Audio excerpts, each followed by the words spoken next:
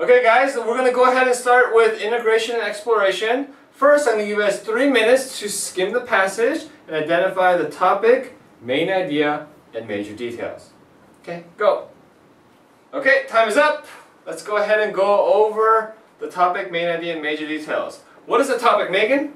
National Academy of Science. Good, let's go ahead and circle that. And what is our main idea, Sharon? Because the issue of chimeric research is very controversial, the National Academy of Sciences created specific guidelines for scientists to follow. Good, let's go ahead and underline that.